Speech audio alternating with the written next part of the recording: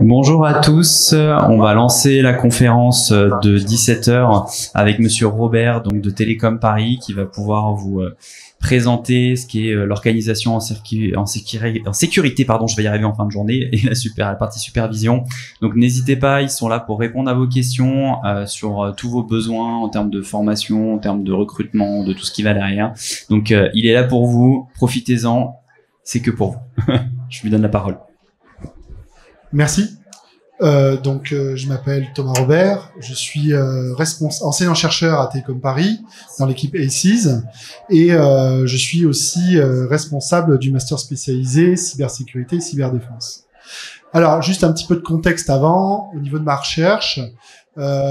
du coup, mon domaine d'expertise va être un petit peu tout ce qui est gestion du risque, euh, j'ai commencé côté euh, sûreté de fonctionnement, qui est plutôt la vision un peu accidentelle des choses, et j'ai glissé vers la partie cybersécurité. Je suis impliqué dans différentes initiatives, comme la chaire Cyber CNI, euh, le projet PEPR Cybersécurité Supervise, et euh, j'étais impliqué dans un laboratoire commun qui s'appelait Seido avec EDF e et Télécom Paris. Et en fait, globalement, pour expliquer un petit peu pourquoi je vous parle de tout ça, c'est parce que à travers ces, toutes ces choses, toutes ces activités, une des préoccupations, c'était comment euh, peut-on améliorer, qu'est-ce que sont de bons services de détection d'intrusion? C'est quoi, c'est quoi qui se cache derrière le besoin de détecter en fait euh, l'occurrence d'une attaque? Sinon, alors après sur l'aspect formation et plus globalement à l'échelle de l'école, il faut savoir que Télécom Paris euh, offre trois masters spécialisés euh, autour du thème de la cybersécurité. Vous avez entendu euh, peut-être l'orateur de la Société Générale parler d'architectes architecte réseau, architecte cybersécurité. Et en fait, ben, finalement, euh, deux des formations que Télécom Paris offre sont justement à cheval sur ces deux euh, compétences. Donc, nous avons le master spécialisé ARC, architecture réseau et cybersécurité, et le master spécialisé euh, conception, architecture des réseaux et cybersécurité. Ce qui différencie ces deux masters spécialisés, c'est le format et aussi un petit peu euh, euh, le, le, périmètre, mais globalement, ce sont des offres de formation qui sont à cheval sur les deux thèmes.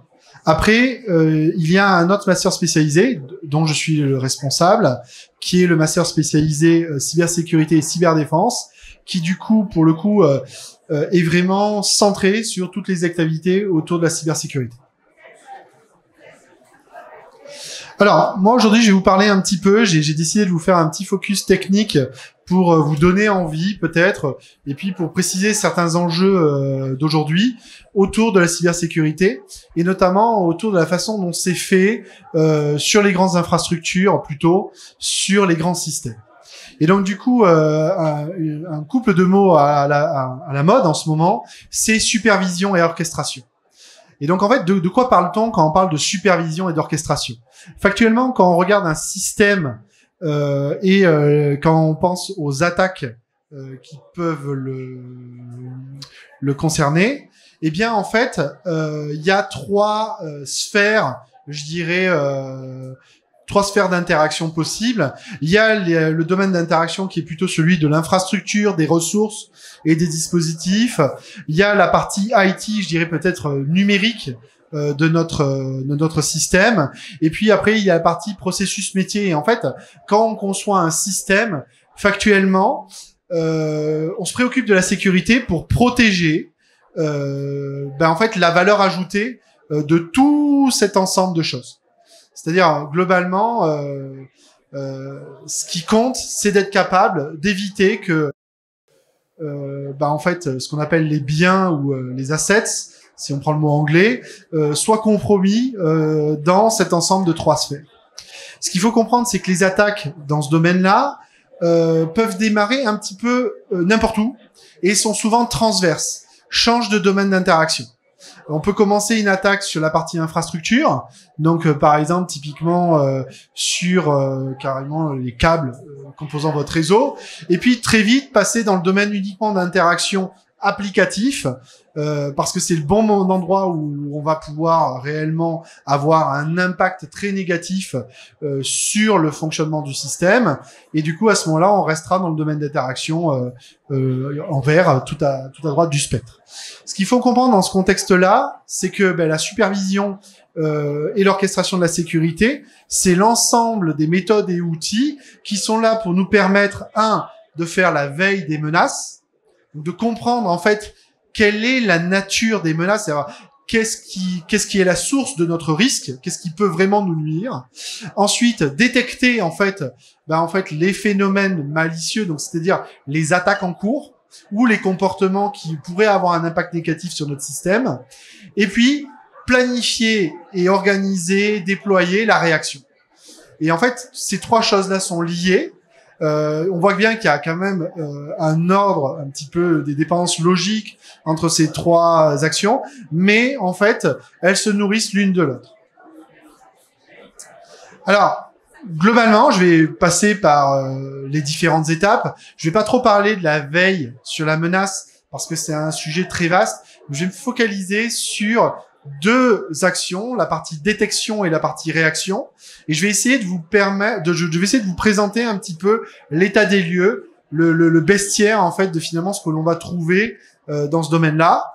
Et euh, ce qu'il faut bien comprendre, c'est que au niveau de la détection, comme je l'ai dit, il y avait les fameuses trois sphères d'interaction. Eh bien, en fait, on peut avoir euh, pour la détection des artefacts, ça va être des composants à intégrer au système, qui vont pouvoir se répartir soit sur l'infrastructure de notre système, soit directement dans les applications du système. Et euh, ces, euh, ces éléments, en fait, ont des capacités d'observation et de décision pour pouvoir en fait finalement euh, identifier soit des activités réseau, soit euh, des activités euh, sur les ressources ou les données stockées qui ne sont pas conformes finalement au fonctionnement du système, ou alors directement sur ben, l'usage du système dans le fameux processus dans lequel il est censé être exploité. Et en fait, l'idée c'est que ben, ce qu'il faut comprendre, c'est que euh, derrière ces, ces, ces objectifs, hein, ces, objectifs de détection, on a plein de composants qui ont été proposés. Alors vous en connaissez sûrement. Il y a les antivirus, il y a les pare-feux. Euh, après, il y a des, des, des, des, choses un peu plus spécialisées qui correspondent à un vocabulaire plus technique, que sont euh, les systèmes de détection d'intrusion ou IDS. Alors vous avez les versions réseau, les versions hot, donc plutôt sur les machines, plutôt sur les serveurs. Et en fait, par rapport à ça, euh, ce qu'il faut comprendre, c'est que euh, on a énormément de terminologies qui ont été proposées, énormément de, mots-clés pour identifier en fait différentes combinaisons de méthodes et positionnements par rapport aux activités de détection. Et, et factuellement, à l'heure actuelle, ça devient potentiellement un petit peu difficile de s'y retrouver, de comprendre réellement ce qui se cache derrière. Je vous mets au défi, par exemple, de vous faire une idée très claire de ce qui se cache derrière Endpoint Detection and Response. Alors celui-là, il est un peu facile, mais factuellement, euh, il faut savoir que des fois, derrière ces terminologies, il y a aussi des aspects euh, marketing. Et donc, du coup, euh, l'idée, c'est que je vais essayer un petit peu de rentrer dans le détail pour euh, donner une petite euh, une petite vision un peu plus en profondeur de ce qu'on va trouver dans ces mécanismes et des problèmes que l'on peut rencontrer à leur exploitation. Alors, euh, pour la détection, factuellement, il faut être capable d'observer euh, l'activité réseau, l'activité du système, de vos supports d'exécution, de ce qui réalise vos traitements de données, de ce qui réalise vos stockages d'informations. Et aussi, il faut être capable euh, d'analyser ben, en fait le fonctionnement de votre système à beaucoup plus haut niveau d'abstraction, donc au niveau processus métier. Et du coup, ça, ça vous donne en fait déjà trois objectifs en termes d'observation, d'instrumentation du système. Donc c'est ce que j'ai appelé les domaines d'observation. Et ça, ça nécessite d'être capable de de capturer des activités. Alors des exemples concrets. Par exemple, sur la partie réseau, eh bien en fait, il y a énormément de, de, de choses qui ont été réalisées pour être capable de capturer des protocoles spécifiques, de les capturer de manière efficace sans que ce soit trop coûteux, euh, de les stocker et d'être capable de les analyser à la volée de manière efficace. Vous avez euh, par exemple des choses autour de, des protocoles de la pile TCP/IP, vous avez euh, des choses spécifiques à HTTP et ainsi de suite et ainsi de suite. L'idée aussi, c'est que vous avez eu assez vite des besoins où les gens se sont dit non mais en fait, je veux pas des protocoles spécifiques dans toute la logique de communication. Je veux être capable d'extraire l'intégralité des informations concernant le transfert d'informations. D'accord? Donc la communication, quel que soit le niveau d'abstraction auquel ça se passe. Donc, euh, genre, je sais pas si vous savez, mais en réseau, on applique le principe d'encapsulation. C'est en fait, il y a des couches d'abstraction de plus en plus euh, abstraites, euh, de plus en plus proches en fait de l'applicatif. Et l'idée, c'est que euh, globalement, chaque couche se préoccupe euh, d'un problème en particulier. Le fait d'être capable d'observer en même temps ce qui se passe à chaque couche d'abstraction pour une même activité, parfois peut donner des informations sur le fait qu'une attaque est en train de se produire. Notamment parce qu'on va être capable de détecter euh, certaines bizarreries, finalement, dans ces différents niveaux d'abstraction. Euh, on va retrouver exactement les mêmes préoccupations sur les machines. Euh, au niveau des machines, alors bon, je sais pas à quel point vous vous êtes familier avec euh, euh, finalement ce qui se passe sur un ordinateur, mais vous avez votre système d'exploitation qui est là pour vous permettre d'exploiter vos ressources, vos capacités de stockage, de calcul. Et en fait, ce système d'exploitation, il a une architecture assez compliquée. Et cette architecture, factuellement, euh, elle, est, elle vous permet de dire qu'il y a des composants dans ce système d'exploitation dans lequel vous avez très confiance et d'autres composants dans lesquels vous avez moins confiance eh bien en fait, être capable de savoir quelles parties du système d'exploitation sont sollicitées, quand et comment, ben, c'est une information qui est très importante pour pouvoir déterminer si on est sous le coup d'une attaque. Euh, du coup, par rapport à ça, vient ensuite le problème de la prise de décision. Comment fait-on pour décider si une attaque a lieu ou non? Eh bien, par rapport à ça, en fait, il y a deux types de méthodes. Il y a, euh, on va dire que c'est de manière un petit peu caricaturale, il y a deux types de méthodes. Il y a ce qu'on appelle les approches basées signature, et après, on va parler souvent d'approches plutôt comportementales euh, ou à, base d'analyse de comportement, mais qui factuellement sont basées sur le fait que euh, on va essayer de capturer ce qui représente un comportement attendu du système et ce qui ne l'est pas, et de faire la séparation entre les deux. Euh, par rapport à l'approche par signature, c'est quoi le principe? Le principe, c'est que vous avez été capable d'observer le comportement ou l'objet représentant une menace pour vous. Donc ça peut être un bout de code, ça peut être une, euh, une activité réseau, peu importe. Et de ce comportement que vous avez pu observer, vous allez tirer une empreinte. On va parler de signature, mais cette signature, c'est finalement une empreinte. C'est quelque chose qui caractérise ce comportement. Et par rapport à ça, l'idée, c'est d'être capable de repérer cette signature dans le flux d'activité du système, que ce soit réseau ou euh, au niveau des logiques d'exécution ou des contenus stockés. Euh, on a clairement une tendance qui vise à passer des méthodes à base de signature vers les méthodes comportementales. Pourquoi? Mais parce qu'en fait, les méthodes à base de signature nécessitent que vous observiez effectivement les problèmes et qu'un expert extrait cette fameuse empreinte. Vous tournez une méthode pour extraire cette empreinte. Et cette méthode qui permet d'extraire l'empreinte est souvent une méthode qui est assez sensible à de légères modifications de, euh, de l'objet, de la source du problème. D'accord? Que ce soit un bout de code, une activité réseau ou autre. Et euh, du coup, en fait, ça a très vite posé le problème de la quantité des empreintes, de la mise à jour de la base de connaissances des empreintes. Et donc, du coup, en fait, on s'est tourné assez vite vers des méthodes dans lesquelles on allait pouvoir exploiter les outils de euh, l'apprentissage automatique de l'intelligence artificielle. Et c'est là qu'arrivent les approches euh, dites comportementales. Euh, on peut parler de, de détection d'anomalies, on va pouvoir parler de classification. Globalement, l'idée est que on va se baser sur des données de terrain pour essayer d'extrapoler, en fait, des euh, des composants, de configurer, de paramétrer des composants qui automatiquement vont pouvoir nous dire si oui, si oui ou non une attaque se produit. Le problème de ces composants, qui sont donc reposent lourdement sur euh, des logiques issues de l'intelligence artificielle, c'est que dans le domaine de la sécurité, en fait, euh, quand on y regarde de près, euh, vient se poser assez vite la question de la fiabilité de ces éléments de détection. C'est à quel point peut-on se reposer sur ces composants euh, quels sont les processus pour pouvoir les configurer, pour pouvoir les déployer. Et en fait, par rapport à ça, il y a deux problèmes majeurs, c'est-à-dire il y a deux problèmes de nature très différentes, mais euh, potentiellement que l'on retrouve souvent des fois en même temps. C'est euh, d'abord le problème de, bah, de détection en lui-même. C'est des systèmes qui vont avoir des difficultés à détecter de nouvelles menaces, ou même qui vont devoir avoir des difficultés pour différentes raisons à détecter des menaces que l'on connaît bien et que l'on est tout à fait capable de détecter avec les approches basées signature. Donc des fois, on a des fois ce genre de phénomène. Euh, et puis il y a le deuxième problème qui est que, euh, ben en fait, dans tout système de détection, vous avez le risque de euh, déclarer une activité totalement licite comme étant en fait euh, le marqueur d'une attaque. Et, euh, et, ça, en fait, euh, ben, c'est ce qu'on appelle un faux positif. Et en fait, ces faux positifs, factuellement, ils sont, ils sont, ils sont source de beaucoup d'ennuis parce que potentiellement, ils peuvent se produire qu'il y ait ou non une attaque. Et donc, vous aurez à traiter cette problématique des faux positifs, que vous soyez sous le coup ou non d'une attaque. Et donc ça, c'est un espèce de coût de fonctionnement que vous aurez payé tout le temps.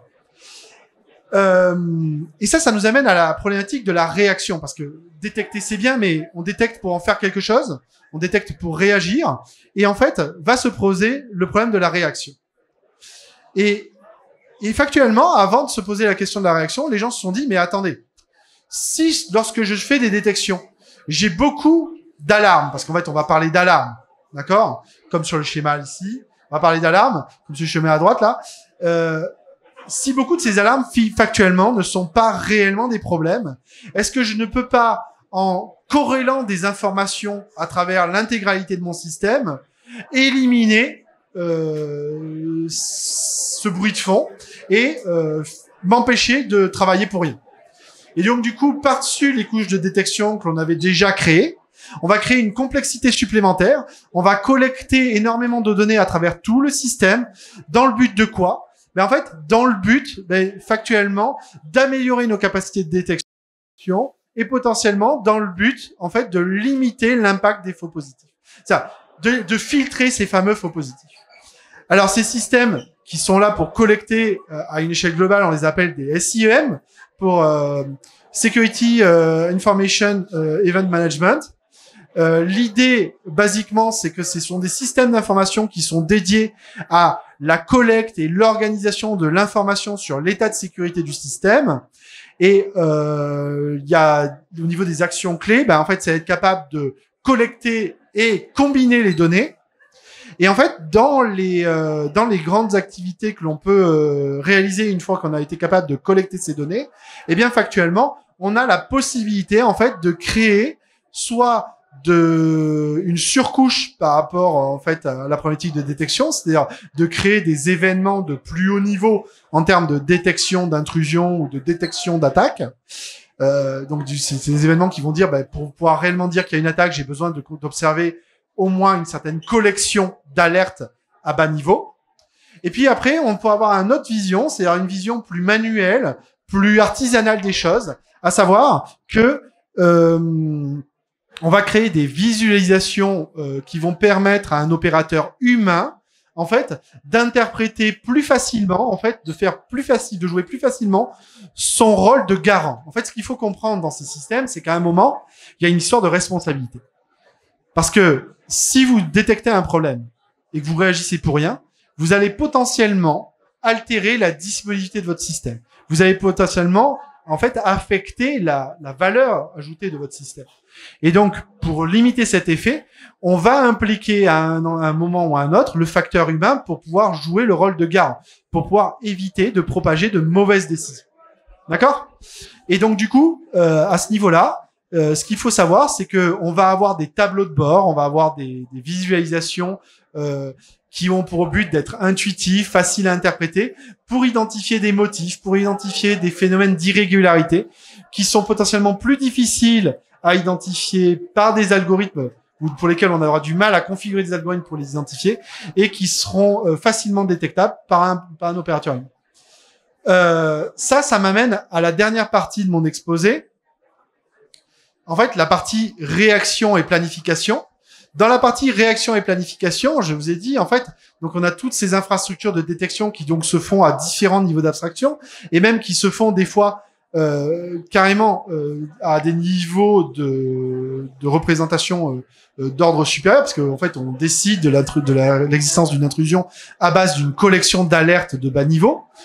L'idée, c'est que une fois qu'on a un événement qui nous dit j'ai détecté a priori une intrusion ou une attaque, il faut savoir ce que l'on fait. Et globalement, par rapport à ça, ça revient à définir ce qu'on appelle un processus.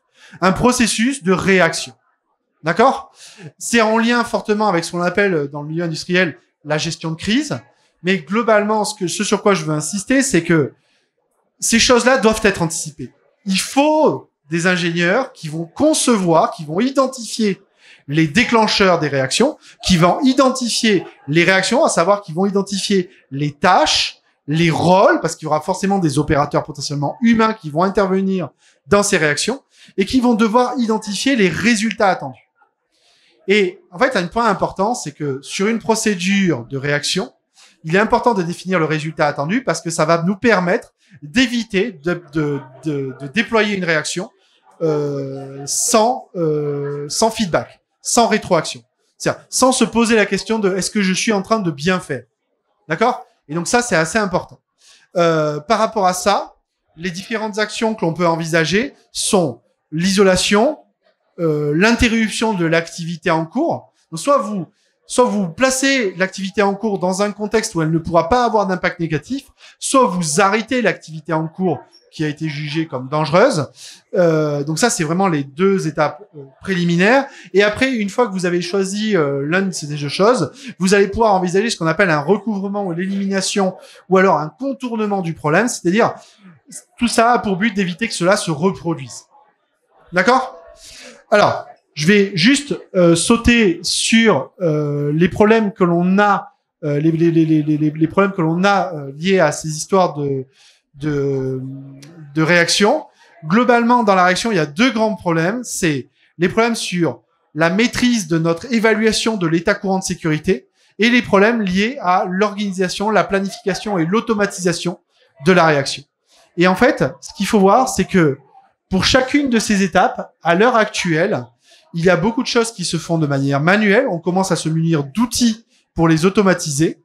Mais en fait, euh, il faut comprendre que toutes ces actions-là, si la détection n'est pas de qualité, eh bien en fait, il va falloir s'assurer que quand on exécute ces choses-là, on n'augmente pas le problème au lieu de le diminuer. D'accord? Ça, c'est vraiment une leçon à retenir. Il y a eu des exemples, par exemple, des exemples en fait où les attaquants ont exploité euh, des processus bien établis de euh, traitement de la détection d'une vulnérabilité critique, où les attaquants ont exploité, par exemple, euh, la connaissance de processus de recouvrement pour placer le système dans un état dans lequel potentiellement il est plus facile à attaquer, et ainsi de suite, et ainsi de suite. D'accord? Euh, Je vais sauter euh, sur la partie euh, perspective. Un point très important, comme je l'ai dit, la détection, c'est le point clé. Et donc, du coup, en fait, la première étape par rapport à tous ces processus-là, c'est d'être capable de, de, réaliser des étapes de détection, un processus de détection qui soit fiable. Et en fait, on va voir dans la présentation d'après que ben, par rapport à ces problématiques de détection, en fait, euh, les approches basées machine learning, en fait, ont des faiblesses intrinsèques qui sont soit liées au dataset, soit liées à la manière dont on configure, dont on déploie ces outils de machine learning. Et euh, du coup, bah, j'étais un petit peu long sur le début. Je me tiens à votre disposition pour les questions par rapport à ce que je vous ai présenté comme panorama sur la supervision et euh, la euh, réaction.